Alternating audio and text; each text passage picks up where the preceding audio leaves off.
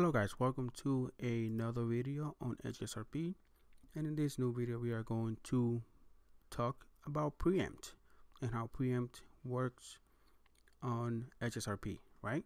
So preempt um, is um, you configure that whenever you want to ensure that a particular router is always selected as HSRP active router if it is available.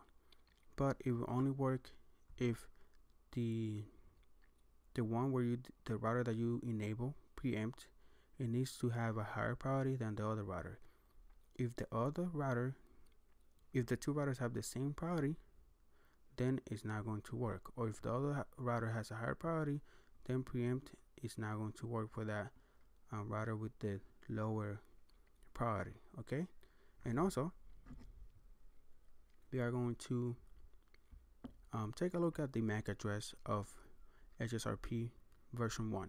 So in version 1, we have this MAC address that is configured, and the XY is where the HSRP group number um, in hexadecimal base on the respective interface. So the XY is going to be the group number but in hexadecimal. So for example, let's say the HSRP group 1 uses the HSRP virtual MAC address of this MAC address and the group number is 1 in hexadecimal, that means that um, the XY is going to become the 0, 1.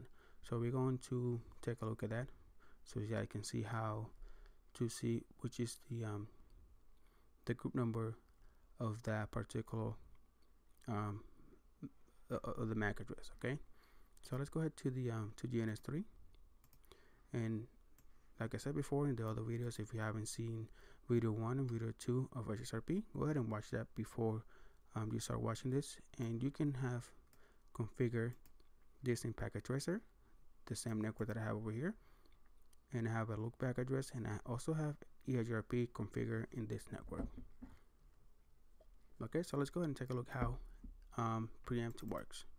So if this router over here, router 1, let's do show standby as you can see over here the group number for that is standby protocol is group number one that we have configured over here.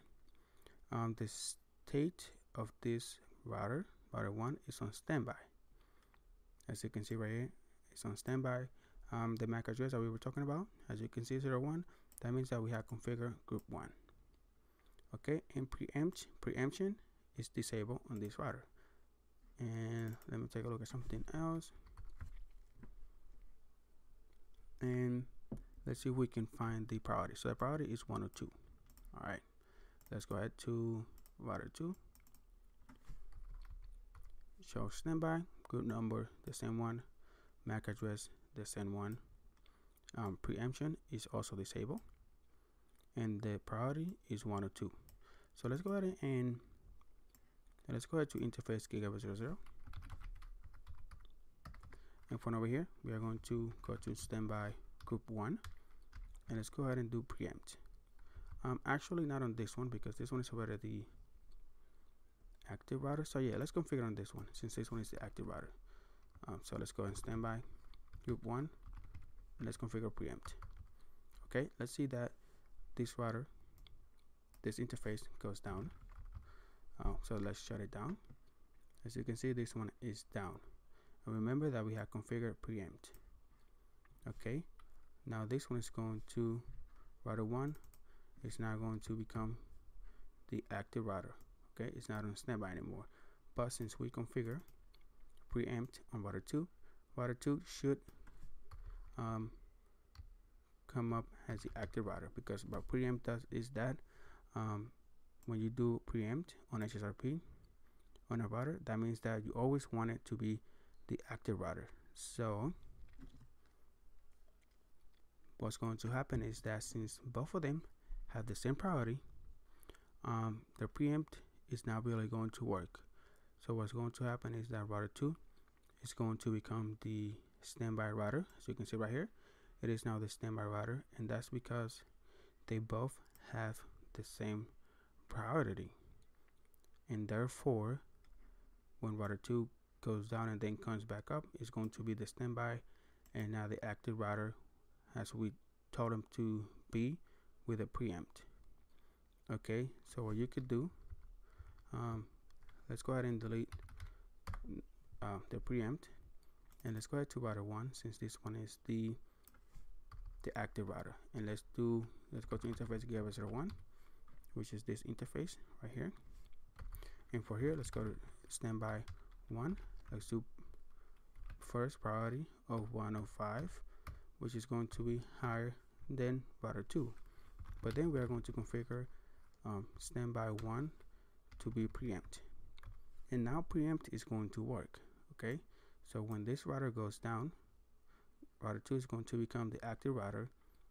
But then when this interface comes back again router 1 is going to become the active router back because we gave it a preempt and it has a higher priority than router 2 okay? Because router 2 priority is 102 so let's go ahead and shut it down.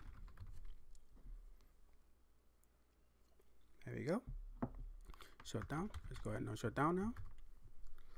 And as you can see this one. Oops. Ah uh, no preempt so let's go ahead and do show on standby. So you can see now this one becomes the standby router because router 1 came up. As you can see so every time this router goes down let's do shutdown again. Shut down and now when that one shuts down router 2 is going to become is going to become the the active router as you can see right here. It's going to become the active router okay? But then when this one comes back up I shut down. Then router 1 is going to become the active router again and that's what uh, preempt does okay? It makes sure that since router 1 has preempt is preempt right? And it has a higher priority than router 2 then this one is going to become the active router um, every time this interface is up but if they both have the same priority um, it won't change. It needs to have a higher priority than um, router 2. Okay, so this is how preempt work, guys. And if you have any other questions, just go ahead and leave me questions on the link on the comments below. Okay, and also if you have if you have a Twitter account, you can just always go ahead and follow me on Twitter at CCNA Daily Tips. And if you don't have a Twitter account, go ahead and create one and still follow me all right and also subscribe to my channel where i have over 100 videos on the ccna topics and the icnd2 topics. So this is all for this video guys. Thank you guys for watching and i'll see you on the next one. Bye bye